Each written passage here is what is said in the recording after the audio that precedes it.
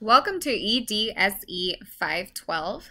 This course is called Assessment, IEP Development, and Instructional Planning.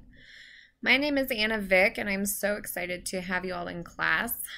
This course will prove to be essential for your current and future study and practice in the field of special education. I'm so glad that you're here and in this course right now because the content that you take from it will be invaluable to you as you work with students and develop individualized programming to meet their educational needs. The best place to start in our course in Canvas is by clicking on Home, which will take you to the same content as what is under Syllabus. These two are linked together. So either of those buttons will get you to the right place. And then you'll be able to take a look at several different documents. Keep an eye also on recent announcements. You'll see I sent a brief one this morning. You can also find all course announcements under this announcements tab here in Canvas on the left-hand side of our course shell. All four of these documents are important for your review, but I would say Probably the most essential one is the 512 course schedule, this PDF document. So I will pull that up for us to look at together. The syllabus, by the way, is a pretty traditional, straightforward syllabus. You'll find information about the program objectives and relationship to professional competencies. And then you'll also be able to see information on the required text, the point allocations for assignments, advocating for your needs if you do have accommodations related to disability support services, etc. So for the syllabus, you'll be able to browse all of that, make sure that you're familiar with that content. I would say the most essential parts of the syllabus would be the point allocations here and then the required text. It's very important that you are accessing that required text soon. You'll see there are a couple chapters included in Canvas to get you started, but putting that order in is essential. So if you do have questions or concerns about accessing the text for the course, please contact me as soon as possible so that we can get moving and make sure that you have what you need. So you'll see here the various requirements that are outlined. And these are discussions. You'll see that each discussion is 25 points. And then there are other activities and ultimately the case study activity for different parts. So you won't need to submit this all at once. It will be broken down for you. Total of that activity or case study assignment will come up to 280 points.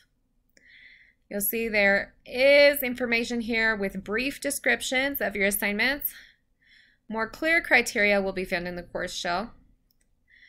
Grading scale is consistent with what you will see across courses in the UNC Graduate School.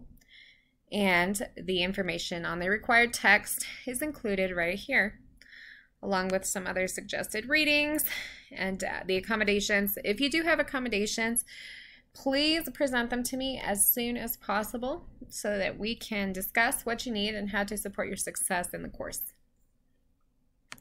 Obviously, academic honesty. You'll want to use your own words and your own ideas. If you are citing sources, please do so in APA format in 7th edition. And be sure that you're not submitting work that you have done in another class unless you have a previous agreement with myself as the instructor. And other basic information regarding policies here at UNC. Please do review those. But as I mentioned, this course schedule document will be a key guide for you throughout our class. So we will take a look at that now. You'll see that we have many different units in our course. It goes all the way down to unit 12 here on this third page. Most of the units last for one week. Some of them last for two weeks, and you'll see that indicated here in the schedule. So the dates provided here indicate the final day of that unit for the course. So you'll notice, for instance, Unit 1 ending on September 2nd, seven days after that, one week after that, Unit 2 will end on September 9th. There is detailed information here regarding the due dates for the discussions. So the initial posts will be made by Monday, and that leaves you with two more days, Tuesday and Wednesday, to respond to your colleagues. You'll need a minimum of two responses by Wednesday at 11:59 p.m., which is the final day of the unit, and those are the dates listed here in this column. You'll also see the topics of our units outlined, the assigned readings, and the assignments responsibilities. One other comment regarding discussions, please do ensure that you're leaving adequate time. So even though there is that Monday deadline, you might consider posting beforehand or posting before the late hours of the night on Monday because the concept of the discussion board is that we are collaborating, reflecting upon the posts of other people in the class, adding insight, having a dialogue, asking questions, responding to others and if we wait until the last minute, it's harder to do that. So I would encourage you just to review the discussion prompt early in the unit, think about what you might be able to contribute, and consider stretching that out a little bit as you have the opportunity. However, the formal due dates are listed here in the schedule document. So for responsibilities, obviously every unit has activities. Those might be things that you are reading or viewing. There are IRIS modules, etc. But the submission requirements will be the assignments, and you'll see there are spots for submission there in Canvas, as well as the discussion submissions, which we just outlined when it comes to those due dates, the initial post, and source citation required within those discuss discussions.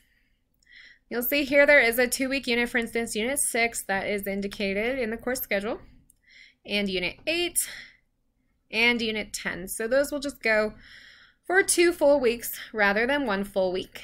And once again, the final date of the unit is indicated in this course schedule. Please do review these two paragraphs at the bottom of the schedule as well so that we're all clear on discussion requirements and late work. Returning to the course shell, there is a welcome letter with more information about our class and Canvas and expectations and a welcome from myself with some information about my background and my role here in the course with all of you. As you scroll down on this main page, you'll see similar information regarding expectations for the course and a summary of many different assignments with their due dates. So feel free to review that if that format is helpful to you.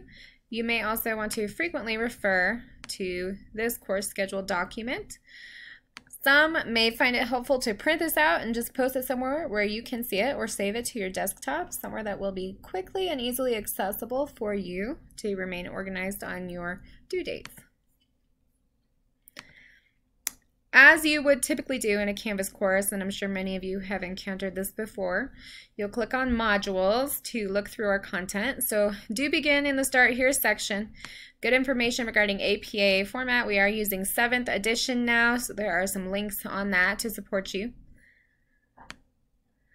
Information on the text and a reminder to get that ordered, but you'll see that there are PDFs of the first short part of the text, two chapters to get you started if you are waiting. However, please do ensure that you have that coming sooner rather than later. Then you'll see Unit 1. This is a fairly short unit um, content-wise, just to kind of get us all started. So each unit will have a visual here in the beginning that shows the goals, what we'll be working on, the reading, and ultimately the assignments. So in Unit 1, we will have the lectures to review. So you'll see you can take notes on the handout for your own reference if you choose to do so. More information regarding ethical, legal, and professional issues. So we will be talking about assessment throughout. There are videos, another lecture handout,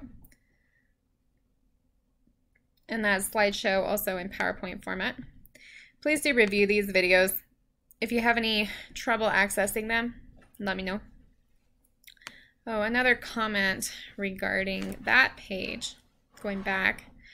There is an activity here. When you click on that, you'll see It is an optional quiz. It is not for points. However, it's good to take it and just see what you've learned regarding assessment and law, those legal aspects after you review this video. So I would encourage you to take it, but it will not be formally scored.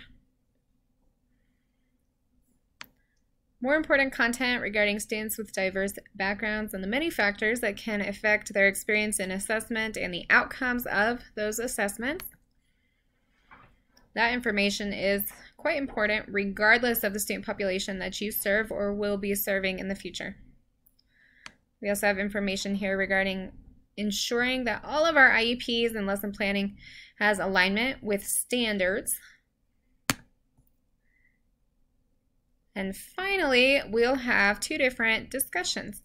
So first, this is an introduction discussion. It is not for a grade, but can be valuable for you as we get to know one another. I would love to learn more about you and your backgrounds. And then here in Unit 1, we'll see there is the formal discussion board, which is for credit, and will have due dates as outlined in the course schedule. So you will say hello and do a brief introduction here. That's um, just to ensure that we all do that because some may not participate in the optional discussion board. And then you'll be addressing a couple questions here and do be sure to cite your source in APA format, which could be the course text or other relevant, reliable academic sources such as journal articles. If you have questions on what constitutes a reliable source, please let me know. So obviously grades, you can look at your scores there. Under assignments, you'll be able to access a list of the work that we are doing in the class and the due dates for that work. So do make use of that page if it's helpful for you as you organize.